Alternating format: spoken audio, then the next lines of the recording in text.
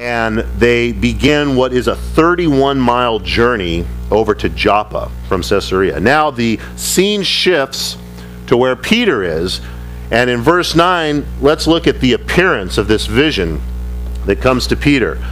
The next day, as they went on their journey and drew near the city, Peter went up on the housetop to pray about the sixth hour. So this is noon. Now, the Jews weren't specifically told to pray at noon, but there are verses in the Old Testament that imply praying at noon is something that a, a faithful Jew will do. David in uh, Psalm 55 talks about in the morning and in the evening and at noon I will call upon your name. And Daniel modeled this in his life in chapter 6. He would pray three times a day to the Lord. So Peter is doing this as well at noon.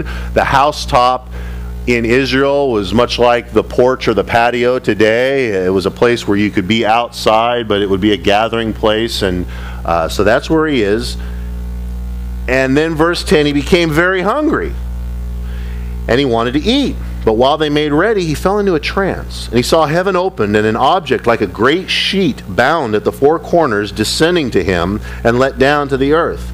In it were all kinds of four footed animals of the earth, wild beasts, creeping things, and birds of the air. And a voice came to him Rise, Peter, kill and eat. But Peter said, Not so, Lord, for I have never eaten anything common or unclean. And a voice spoke to him again the second time What God has cleansed, you must not call common. And this was done three times, and the object was taken up into heaven again.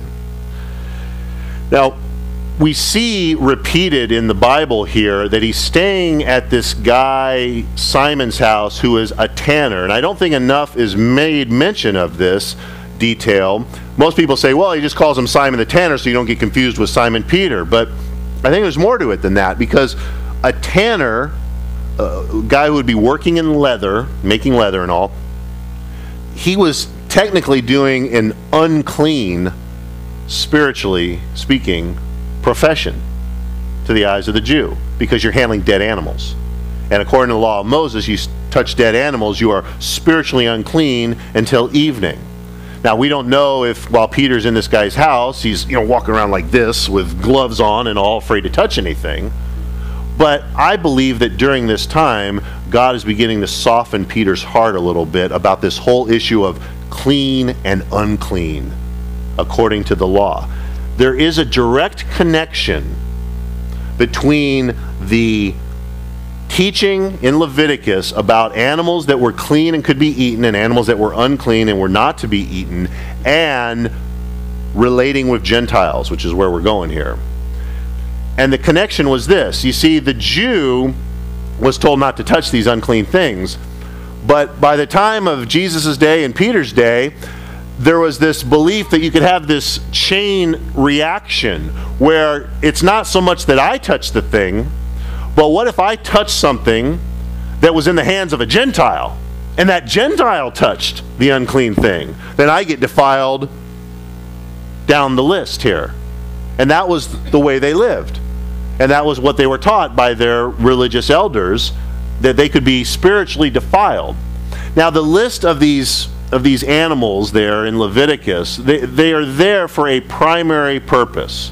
Some people say, well, there's a lot of wisdom in there. Like you don't want to eat pork because we know that if you don't prepare the pork right, you can get sick. And you don't want to eat shellfish because uh, some months of the year shellfish are poisonous. But that's not why God gave those rules that might be a side benefit, but the primary reason that he gave the distinction is to show a difference between the Jew and the Gentile. They were to be separate. God's people were to be called out separate, including even their diet. Now, uh, most Jews probably were not upset that they couldn't eat bat or gecko or mole you know, okay, we'll pass on those without too much difficulty. God did allow them to eat locusts. So high protein there, and John the Baptist was an eater of locust, we read. So you can study the list and just understand the purpose of that list is to show the difference between Jew and Gentile. There was a wall there, and that wall is about to come down in Jesus Christ. much is made of Peter's response, Not so, Lord. That's usually the whole sermon. That how can he be Lord if you're telling him no? And I, I understand the point. I've probably made the point before. It is a contradiction, isn't it? How can you bow the knee to someone who is your Lord and then tell him, No, I'm not going to do that? But let's give Peter a little bit of credit here. Yes, he has this vision, but this vision goes directly against the Word of God. You can understand why he would say no. This violates the Word of God. I guarantee you, one of you come to me sometime and say, Steve, I had this vision. And in this vision, I'm, I'm walking by myself on this desert road, all alone. And I hear the voice of God saying, Go alone. And so I'm concluding that God wants me to leave my wife and my kids and start out my life by myself. That's what He wants me to do. No, He's not. I don't care what sort of vision you had. I don't care what you ate last night to give you that nightmare. But that is not a message from God because God's Word says otherwise. And you so here, you know, understand where Peter's coming from. Wait a minute, what you're telling me to do goes against the Word of God. How do I handle this? Now, if you can turn quickly, turn to Mark chapter 7. Gospel of Mark chapter 7. We looked at this on Wednesday nights not too long ago when we were studying Mark, and to set the scene while you're turning there, Jesus is having an encounter with the Pharisees and the scribes, and they're upset at Jesus and his disciples because they notice that they're sitting down to eat without going through the elaborate washing ritual that was their tradition to do. Not the biblical teaching, their tradition to do because of what I just said earlier. Well, you might have touched something that touched something that touched something that was unclean. And so Jesus came back right at him and said, The problem with you guys is you uphold your traditions of men above even the commandments of God. But then he got to the point of where I'm going, verse 14. He calls all the multitude to himself. And he said to them, Hear me, everyone, and understand there is nothing that enters a man from outside which can defile him, but the things which come out of him. Those are the things that defile a man.